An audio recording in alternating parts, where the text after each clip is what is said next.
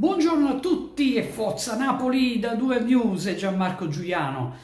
Beh, prima o poi ci doveva essere una sconfitta e ehm, se sconfitta doveva essere, meglio ieri e soprattutto non perdendo poi con 4 gol di scarto che non in altre partite dove i punti sono decisamente molto più importanti. Ieri eh, quindi il titolo è, è troppo facile da fare, cioè sconfitta indolore ma più che questo io invece preferisco mettere alla pari con il Liverpool, perché è questo che poi il Napoli ha dimostrato ieri.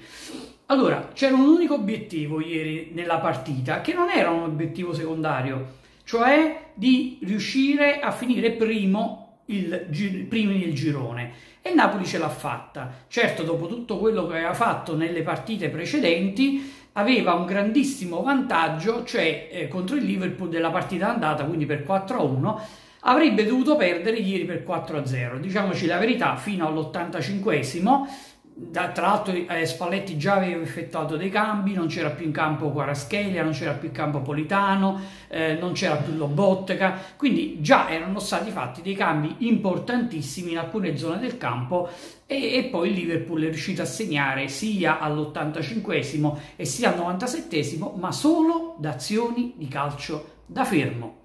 Tra l'altro calcoliamo anche che eh, rientrava eh, Conate a difesa del Liverpool e personalmente non, eh, non mi tiro indietro nel dirlo, per me Van Dyke e Conate sono personalmente, lo ripeto, la migliore coppia difensiva che c'è al mondo come difensori e ieri l'hanno fatto vedere una certa non difficoltà, cioè difficoltà no perché comunque il Napoli ha fatto la sua partita, è andato ad Anfield per vincere, cioè il Napoli è sceso in campo ad Anfield per vincere. Allora, torniamo un altro sulla partita. Quindi l'obiettivo, il primo posto, è stato raggiunto. Il Napoli chiude il girone con ben 30 gol fatti, che è il maggior numero di gol fatti da una squadra nei, nella fase a girone della Champions. Record incredibile. Poi per la, prima, per la seconda volta finisce primo nel girone, la prima volta c'era stato con Sarri in panchina, e per la quarta volta si qualifica agli ottavi di finale della Champions. Ricordiamo che il Napoli ai quarti non è mai arrivato. Speriamo ovviamente nell'urna di eh, venerdì, anche se a prescindere da tutto, tranne se poi il Paris Saint Germain oggi non dovesse finire secondo, tutte le squadre che potremmo incontrare, tranne appunto il Paris Saint Germain, sulla carta sono alla nostra portata, se non addirittura inferiori. Come ho detto prima, il Napoli ha giocato alla pari con il Liverpool. Eh, abbiamo visto la potenza della difesa del Liverpool perché anche Alexander Arnold fa parte per me dei migliori terzini che ci sono al mondo. Bene, Quaraschelia gli ha fatto ben due tunnel nell'arco della partita a dimostrazione che il Napoli non aveva timore di nessuno. E Osimen ha giocato muro contro muro, faccia a faccia con Van Dijk e Conate in una maniera incredibile. Ricordiamoci che al settimo minuto c'era anche un rigore nettissimo su Coraschelia non dato. Vi ripeto, meglio la sconfitta ieri, meglio un rigore non visto dal VAR ieri, piuttosto che in altre partite. Tanto, vi ripeto, l'obiettivo era vincere il girone e l'abbiamo fatto. Anfield forse, mentre la difesa del Liverpool è tra le più forti del mondo, Anfield rientra sicuramente, per me addirittura forse il campo più difficile su cui giocare, ma diciamo tra i primi tre al mondo in cui è difficilissimo giocare per l'ambiente, per la grinta che ci mette il Liverpool, si è visto anche ieri, e, eh, e Napoli non ha avuto paura, il giovane Napoli non ha avuto paura e questa già è una grandissima vittoria perché fa parte della mentalità. Allora, il possesso palla ad Anfield è stato appena appena superiore per il Liverpool, 52 a 48. Mai il Napoli a Liverpool aveva ottenuto questo dato. Eh, dif- la difesa praticamente ne abbiamo parlato del Liverpool, ma parliamo anche di quella del Napoli perché il Napoli, forse pochi l'hanno notato, è sceso in campo rispetto all'anno scorso con il portiere che non era quello dell'anno scorso perché praticamente c'era Meretta al posto di Ospina, parliamo della difesa titolare, ma anche gli altri, altri 3 su 4 erano differenti, Olivera, Ostigard e Kim. Vogliamo parlare della partita di Olivera? Per me Salah è stato praticamente annullato da Olivera che ha fatto una partita eccezionale dimostrando una grandissima eh, forza, una grandissima velocità ed intelligenza anche tattica, va sempre in anticipo su giocatori tra l'altro veloci, eh, perché parliamo di Salah, tra i migliori al mondo in quel reparto. Ostigard, Ostigard che è un giocatore che non solo ha grande potenza nel colpo di testa e grande potenza fisica, ma anche la capacità di fare gioco, di fare dei lanci. Ieri ne ha sbagliati due o tre nel primo tempo, ma ehm, chi va al Maradona spesso nota che tra primo e secondo tempo, nell'allenamento eh, che fanno i giocatori, Ossigard spesso gioca con Elmas da una parte e l'altro dei, fa del, eh, dei falli laterali, diciamo, quindi del lato piccolo del campo, e si fanno i lanci tra di loro. Bene, Ostigard 9 su 10 li mette proprio sul piede di Elmas.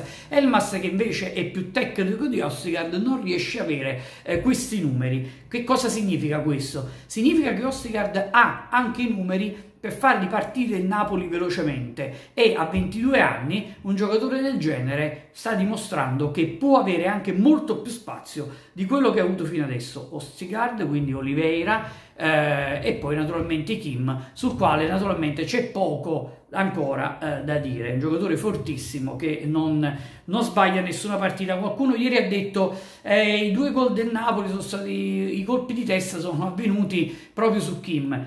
Beh ragazzi però comunque ricordiamoci che contro appunto come ho detto prima i colpi di testa sono stati fatti da Van Dyke e Conate, ok? Quindi parliamo tra i numeri 1 anche nei colpi di testa in area avversaria, quindi non... Cioè, eh, Ubi maior minor cessat, dicevano i latini.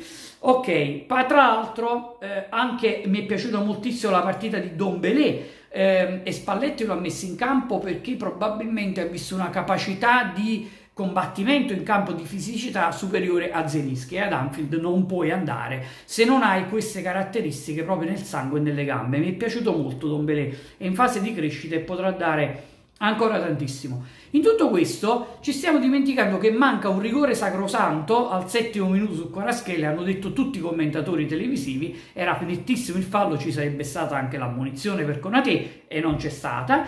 Poi eh, il gol annullato, vabbè, eh, c'è il VAR, c'è la tecnologia, quindi giusto annullarlo, però per pochi centimetri cioè lo schema del Napoli, grande il cross di Quaraschelia, bellissimo lo stacco di testa di Ostigard e, e il Napoli comunque era passato in vantaggio. Eh? Senza la tecnologia il Napoli sarebbe stato in vantaggio, ma questo non lo diciamo perché per me è giusto che ci sia il VAR e anche se per un centimetro bisogna annullare il gol.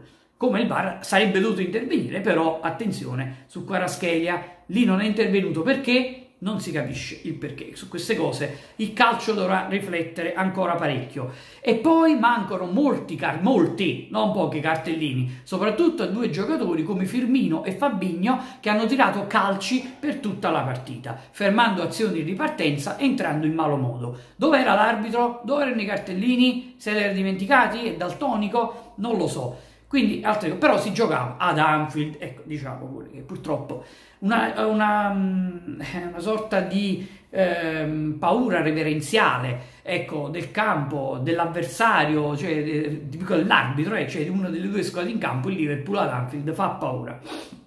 Finito quindi il record delle 13 vittorie consecutive, ma no, la partita di ieri fa, lascia il Napoli consapevole della propria forza eh, già essere entrati, come ho detto prima, ad Anfield per vincere la partita. Tra l'altro, dopo il gol subito all'85 il Napoli si è riversato in avanti, non la voleva perdere e questo fa parte di grande maturità. Quindi è una squadra giovane, perché giovane. Siamo al primo anno di un progetto perché la rivoluzione è venuta l'anno scorso e già questa squadra è consapevole delle proprie forze. Quindi è una partita che lascia la mano in bocca solo per il risultato, ma l'obiettivo incredibile quando sono usciti i gironi, cioè nessuno poteva pensare di arrivare davanti al Liverpool, è stato raggiunto. Quindi grazie a questi ragazzi che ci hanno regalato per la quarta volta nella nostra storia ehm, la possibilità di giocarci gli ottavi e per la seconda volta, vi ripeto, primi nel girone con 30 gol, 30 gol realizzati. Quindi grazie ragazzi e speriamo nell'urna di venerdì, speriamo che per una volta ci vada più che bene. Forza Napoli e buona giornata a tutti.